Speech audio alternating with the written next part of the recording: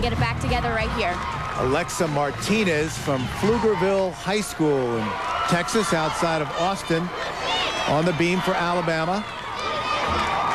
Member of the U.S. national team in 1993.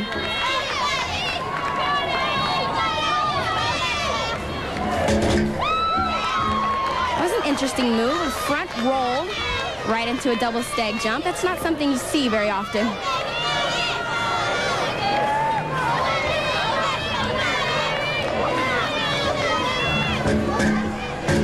That handspring pike, oh, that's not what Alabama needed right now. They needed to start out